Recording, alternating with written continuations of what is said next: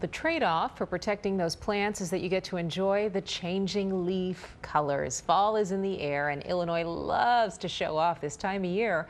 You can take advantage of the season with some fun weekend getaways that don't require a ton of planning. Sylvia Garcia, director of the Illinois Department of Commerce and Economic Opportunity joins us live. Welcome.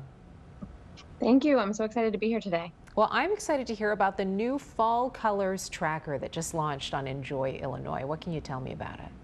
Sure, happy to. So on our Enjoy Illinois website, we're really focused on thinking about how people can explore all Illinois has to offer. And so we were so excited to start this fall tracker that helps you keep the fall season going all year long or all season long. So, you know, in northern Illinois, we have uh, the leaves changing maybe a little bit earlier than southern Illinois. And so our online tracker lets you be able to see month by month when the peak times will be in different regions of the state and plan your trip to see those beautiful fall colors. Well, speaking of planning a trip, Columbus Day weekend is coming up. What do you suggest for a local getaway?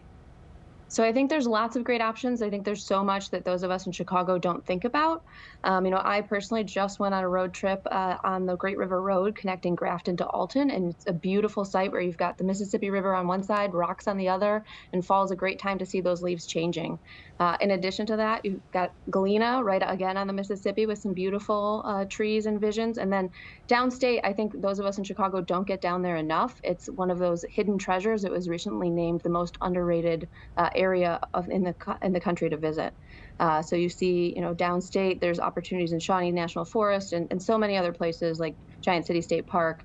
Uh, where you get the opportunity to see beautiful nature right in our home state here in Illinois. And just to give people an idea of how far these destinations are, how far is it from the Chicago area to Galena or to Shawnee? So to Shawnee, it's about a six-hour drive. Um, there are some flights happening down there as well, but uh, it's a little bit of a road trip, but great for a, a long weekend. Uh, and then Galena, it's only a few hours uh, west from Chicago. And in addition to Galena, you could also stop along the way and check out Starved Rock National Park. So so many different opportunities to, to be out in nature, enjoy that crisp weather that we were talking about. But I, I feel like fall is our best season in Illinois, and so such a great opportunity to get out and enjoy nature. It sure is beautiful. Now, some people, I'm not going to say who, are really attracted to food destinations. So if food is really your thing, where in Illinois should you travel to outside of the Chicago area? Well, there's so many great food opportunities across Illinois. Um, I think Galena, I always love going uh, to the restaurants on Main Street uh, in Galena. It's a great place to be. Um, but I also love the hidden treasures. So uh, if you stop in Grafton, right on that Great River Road, they have a great ice cream shop. I'm not saying that that's my favorite, but uh, there's so many opportunities to try different food in different communities across the state.